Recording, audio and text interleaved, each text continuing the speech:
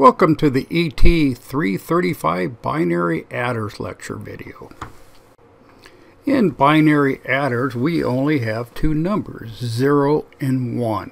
So once it exceeds 1, we have to carry the digit just like we do in decimal addition. So when we go from 0, 1 to 2, 2 becomes 1, 0 base 2. Here I'm showing a binary half adder. This is the symbol for a binary half adder. And we have two inputs. And we have a summing output and a carry output. And here is our truth table. So anytime we add them up, we get 1 or 0 or 1. And when we add 1, 1, we're going to get 0 carry the 1. So we're going to get a sum of 0 carry of 1. Here I'm showing a binary full adder. And the difference between a half adder and a full adder is the full adder has a carry input. So it is going to have three inputs, P, Q, and carry input, and two outputs the same as a half adder, sum and carry output.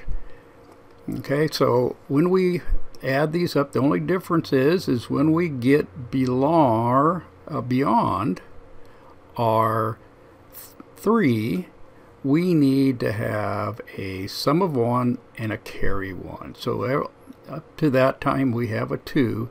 But any time that we have that carry input and P and Q are 1, we're going to get a sum of 1, carry output of 1. Here I'm showing a binary adding circuit, which I call an adding machine, where we could demonstrate binary addition. So the first thing we're going to have is our least significant digit, or LSD, and we're going to have 1 plus 0, which would be 1, carry the 0.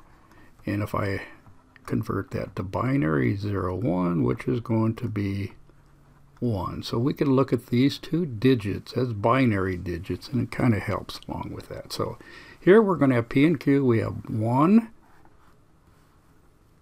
plus 1 plus 0 is going to equal binary 1, 0. So we're going to have sum of 1, excuse me, sum of 0, carry 1, and we're going to have 1, 0, base 2, which is 2. Here we're going to have our carry input, so we're going to have 1 plus 1 plus 1, which is going to be 1, carry 1. 1, 1 base 2 is 3 decimal. Okay, then we're going to take our carry in. 1 plus 1 plus 0 is going to be 0 sum, carry 1, 1, 0 base 2 is 2. Here we're going to have 0 plus 0 plus 1, which is 1. So here's our final answer. Here's my CAD answer, and it looks like we did well. Okay, so let's do another addition problem. So we've got 1 plus 0 is going to be 1. 1, carry the 0. Again, 0, 1, base 2 is 1.